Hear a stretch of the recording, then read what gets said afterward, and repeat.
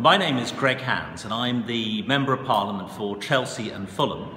Uh, I won my seat from Labour in 2005 uh, and I know what it takes to beat Labour in London and I think Shaun Bailey has got what it takes to beat Sadiq Khan in the race to be London Mayor in 2020.